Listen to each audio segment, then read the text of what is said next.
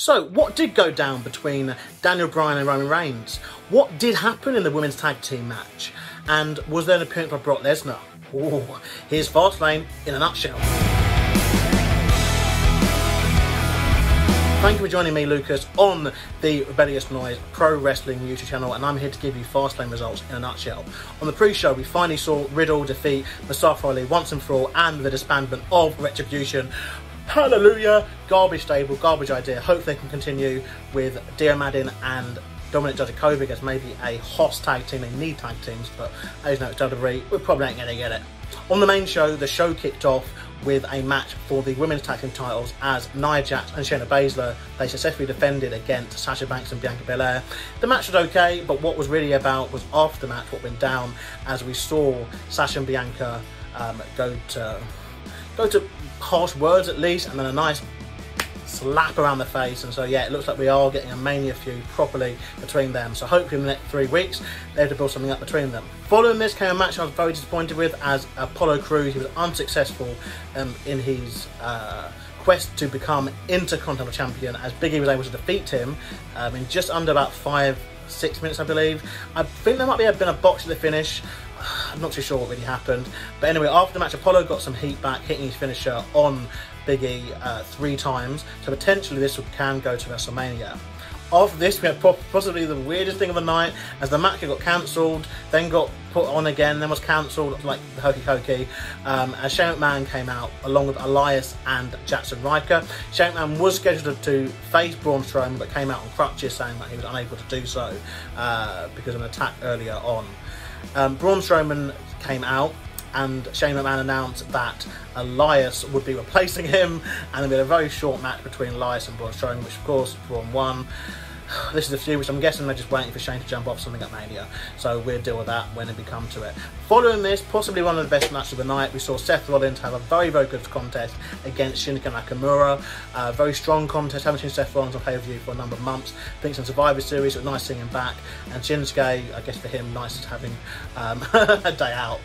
Um, following this, we had a fantastic contest between Drew McIntyre and Sheamus. This was a no-holds-barred contest, and they utilised the Thunderdome to their extent it was it was insane. Uh, the welts and Sheamus and Drew's bodies said it all really. Um, I didn't really like Drew's um, face paint. It's like Vince McMahon has just seen Avatar, um, Smurfs, and Braveheart and for all new movies because I don't know, it, it looked really weird. Stop doing that, please. He's not Mel Gibson. Um, but anyway, yeah, Drew won a match which included taking a white noise uh, through an announce table, putting an exploding, a better than AEW, exploding lighting rig on, on the Thunderdome LED screen uh, that Sheamus got thrown through. Um, it was brutal. These guys battered each other, and you know, just showed that they are two of the best brawlers in, in wrestling, really.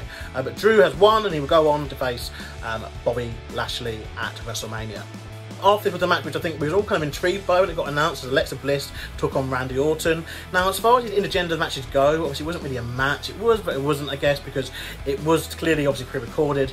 There were some cinematic elements added to it, such as the light streaming falling down. I thought was quite cool. But this match was about one thing one thing only, and that was the return of the Fiend as he rose from the ring, from beneath the ring. Uh, you know, just like at the end of the first Friday of the 13th movie, um, when Jason's hand reaches and uh, you know up to the boat. But you know, look, this this was a this, this was a fun little thing. What it was, there was no obviously physical one-on-one action between the male and the female competitor, um, and Alexa Bliss won following the Fiend's interference and the Fiend actually hitting Sister Abigail, and Randy Orton was pinned. So this will go to Mania two.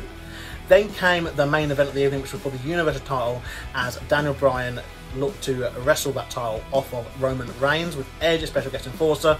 Now, come on, like this was this was a really solid match. These two were always living in between the ropes. However, the story was more about Edge and what he'd do on the outside, and thankfully he got involved. And it seems that we'd finally have a Mania program as Edge he inserted himself in the match once he um, stand the referee kind of WWE official got involved, and then he was on the receiving end of a chair shot, inadvertent chair shot, uh, must add, um, by Daniel Bryan, and then he snapped. He attacked them both, left them both laying, and Roman was able to get the pin just.